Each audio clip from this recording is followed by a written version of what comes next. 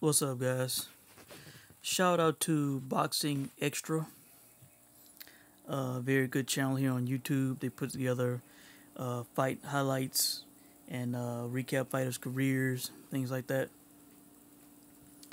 Last night, as I was going through my feed, they have um, released a video called Julio Cesar Chavez All Title Fights. I will put the link to that in the comment section and I will also put the link to the uh, legendary tale uh, done by HBO of the fight that I'm about to talk about.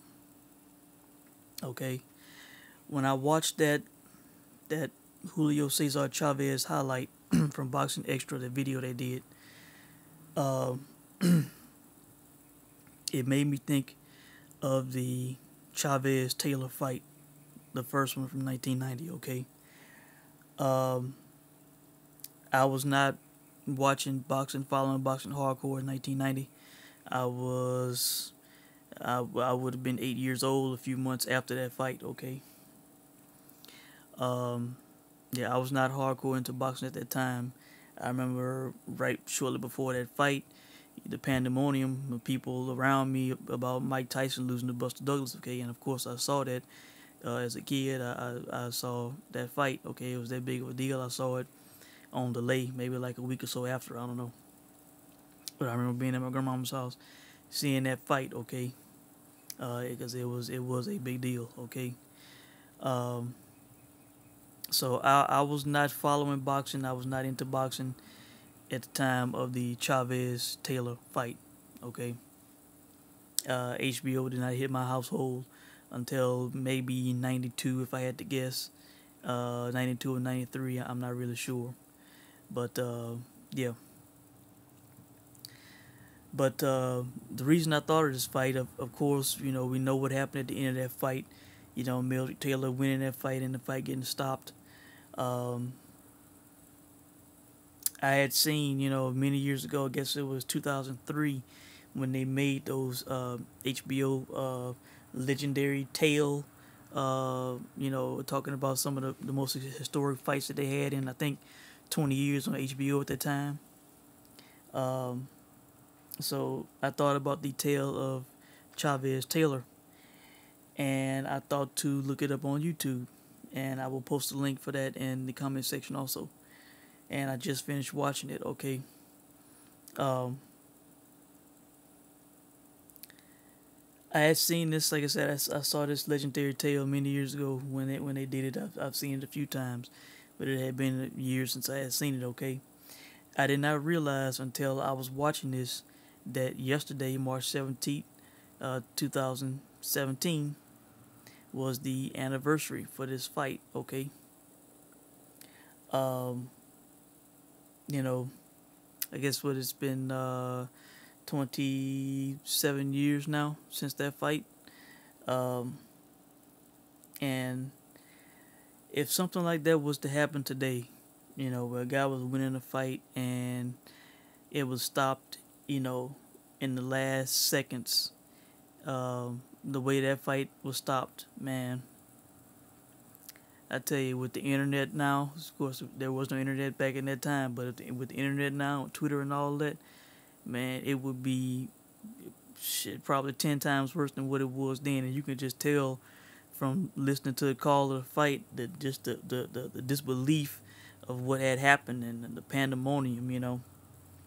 I mean, it, it would it would be crazy, man.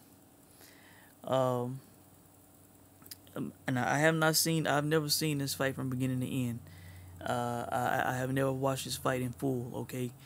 Uh, but just watching the uh, legendary tale, um, you know, they said that they felt that that uh, Taylor was win- clearly winning like the first nine rounds. Okay, and they showed the highlights, hand speed, the combinations that he was landing on Chavez. I just looked up the guy's BoxRec before doing this video. He had 38 wins in his career, 20 by KO. So I wouldn't say that the guy had you know crazy KO power. He was landing combos on Chavez, but apparently Chavez was eating them. Okay, he he uh, he did not go down. Uh, he did not appear to be ba- badly cut from what I saw. And toward the end of the fight, they said from the middle rounds, but from what they showed, looked like the last couple of rounds of the fight, Chavez making a hell of a comeback. He was landing shots on Taylor that that that just bruised him up, messed him up pretty bad. And after the fight, they said this guy was urinating blood. They said he had a facial fracture, and I forget what else. It was something else he had. Okay, they they say it in the legendary tale. Um, but you know, at the end of that fight, um, as we all know, it's like in the last 25 seconds, um, Chavez lands a a right, I believe it was a right cross, I believe, on Taylor's chin after he had been taking some some pretty bad punishment. Taylor goes down, and Richard Steele is applying the count. Okay.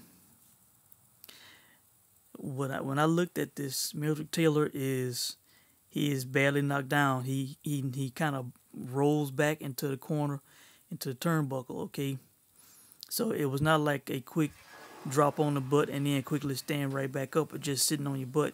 He went down and then he rolled back. He was hurt so bad. Okay, the guy's getting up. He puts he he he grabs the ropes for support to get up to help get up. Okay, the guy gets up. The camera work, even at that time. Kudos to those guys at HBO who were working in that day. You know, they had the camera right there in the corner. You could you could see Taylor's face. You could see Richard Steele's face. You could hear the audio. Richard Steele asked the man twice, "Are you okay? Are you okay?" You know, Meldrick Taylor did not respond. Meldrick Taylor was looking to the left. He was looking to the right. He was not looking at Richard Steele.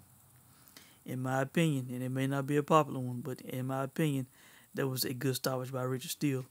I know if he would have let the fight continue, Meldrick Taylor would have won a, a split decision.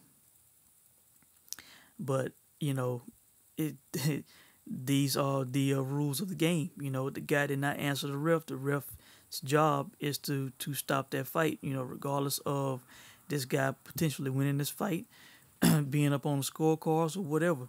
You know, if if if Richard Steele somehow, some way, which I, it, it would not have happened because it was like two seconds left in the fight, but if you would have said okay, continue, and then Chavez comes over, runs across, lands a right hand, and and and man, you know, messes up this guy's life forever with you know with one punch because they left the they because they let the fight continue.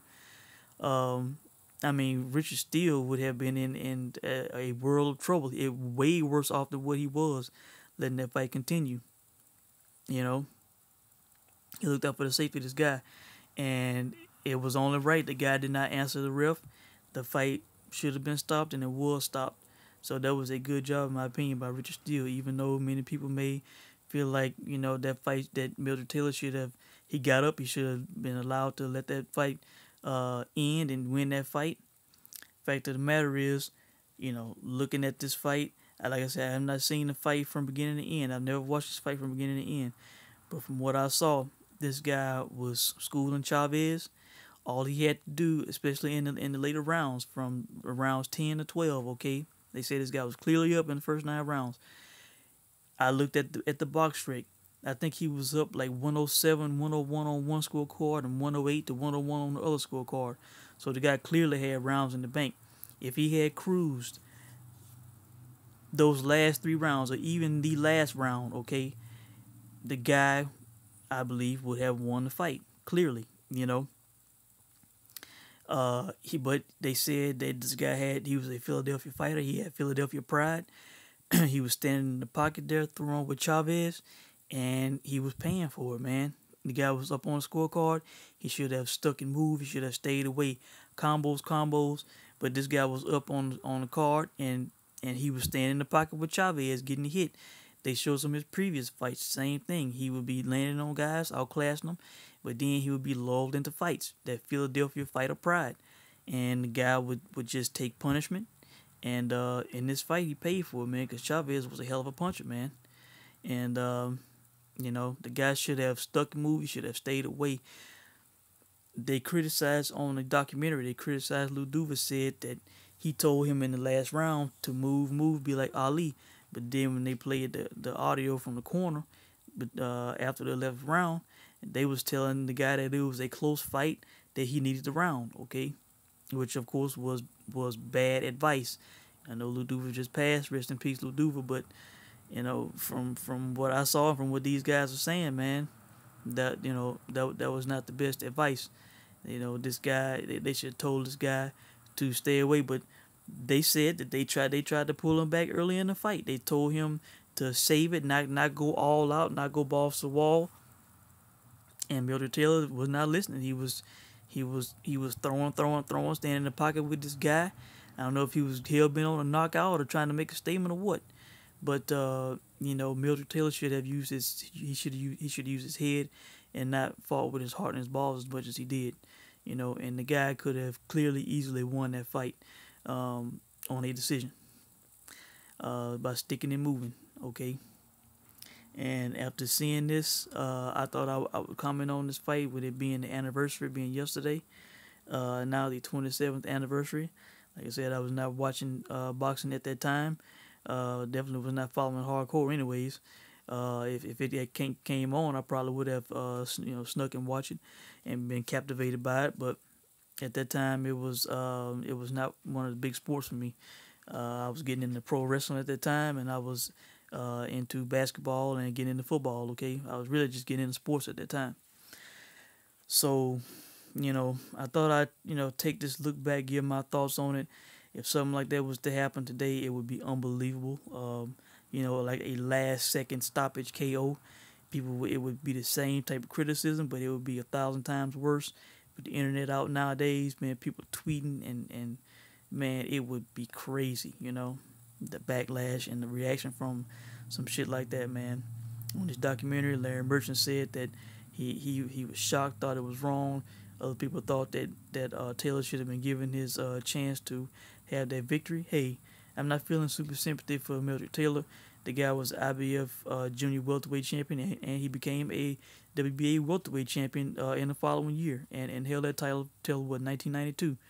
So, you know, Meldrick Taylor was a world champion, a two division world champion. Uh, maybe in the biggest, most notable fight of his career, and maybe he did not. It did not go his way, but you know, if the guy had used his head, stayed outside, used the combos, stuck and move, the guy could have uh, won that fight. Most likely would not have been caught, and he could have won that fight on a decision, split decision. All right. That's all I got to say about it, guys. Thought I'd go back in time and comment on this fight. Uh, happy anniversary to Julio Cesar Chavez Sr., who has been in the news lately for Junior getting ready to fight Canelo.